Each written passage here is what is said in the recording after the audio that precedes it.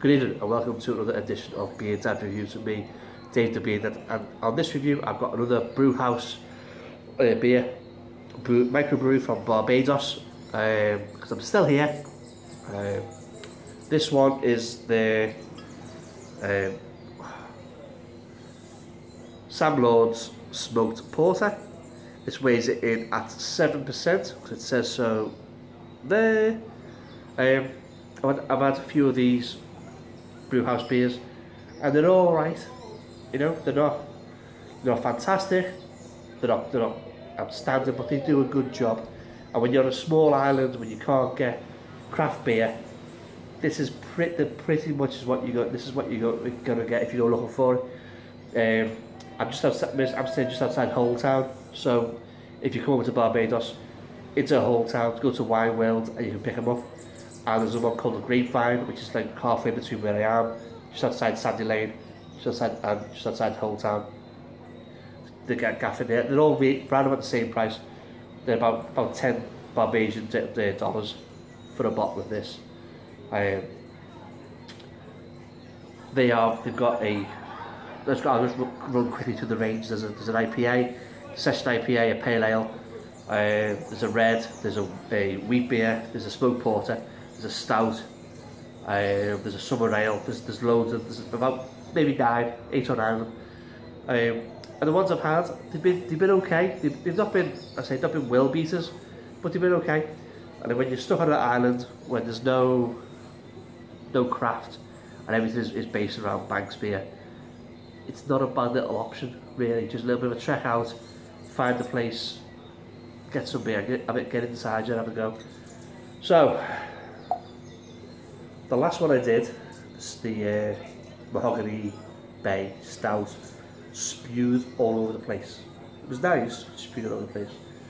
I think this may do the same thing, okay? So, please bear with me. Oh, by the way, there's the top. There's no expiry on it. It's, it's written around here somewhere, I think. I just can't see it.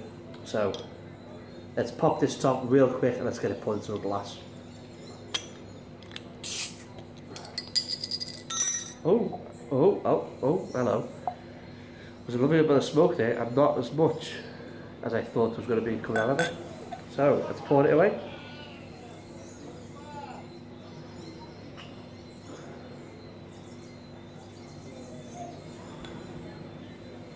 So I've got that bit of a, I've got a bit of a hard pour, I must admit.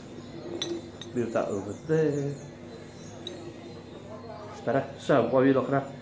We've got a beer of glass. This is a, this is a porter, so there's a little bit of redness. Maybe the glass might, the uh, light might be able to pick that up. Uh, just slightly round about here. Um, we've got two and a half fingers of head. It's just off white. It's very similar to Guinness actually. Um, sort of tanned mocha head. Um, looks okay to be fair. I like I like a good smoked porter. So, turn those and see what we can smell. Now bear in mind, I've been here, I've been, I've been on this island since Thursday, right? And I've had all kinds of problems with my nose prior to coming here. Come here, I can smell all kinds, it's absolutely outstanding. So, still sound like a bit bugged up, but I'm not. So it's Smith.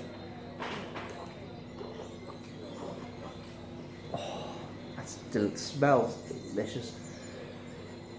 You get chocolate with roasted malt. Obviously, if you're going to get me, get a porter. But then there's, there's, a, there's, a, there's a woody, smoky overtone. It says on the back of the bottle it's smoked over beechwood.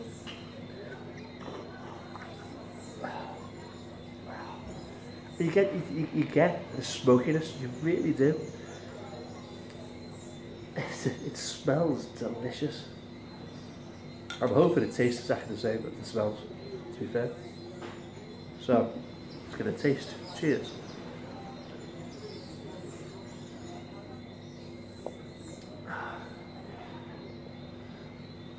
Got a lovely like carbonation to it. Body is light to medium. There's a, a, a little bit of astringency to it, but it's not bad.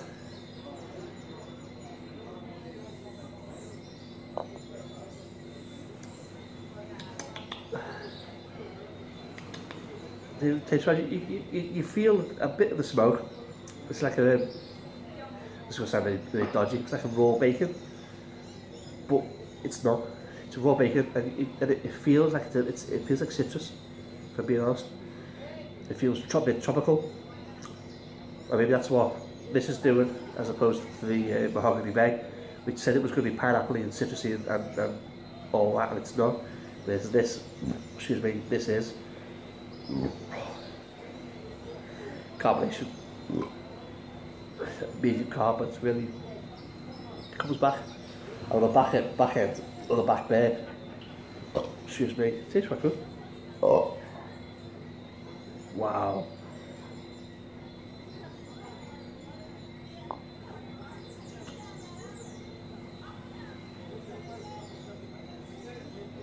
I'll change my combination.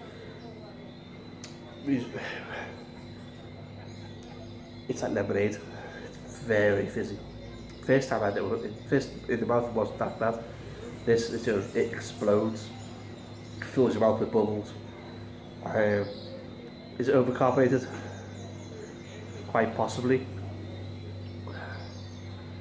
But taste wise, you get chocolate, you get coffee, you get all your porter flavours. There's a there's a hint of citrus there to it. Smokiness does come through.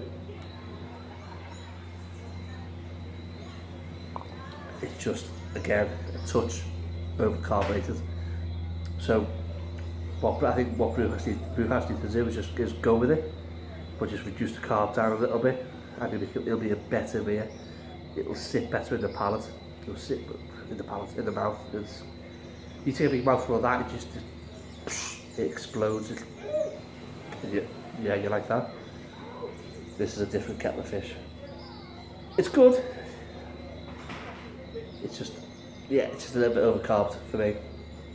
So, see that? See? Properly overcarved. So, Sam Lord Smoked Porter by Brewhouse. Do I like it? Well, you know what I do, and I'll tell you why I do. I do because I'm sick and tired of Banks beer. Um, other sort of non-entity drinks, okay? I've had some stuff tonight that's been really good. I've had, I've had some cocktails that have been really nice. Bar, barmaids and bar, barmans, specialty cocktails. But uh, you, you just crave something a little bit different this is this is what I've got and it works so I won't buy it again. Um, I would recommend to friends, if, if this was distributed, distributed into England, then yeah, I'd, I'd go with recommending it wholeheartedly. So there you go, review done.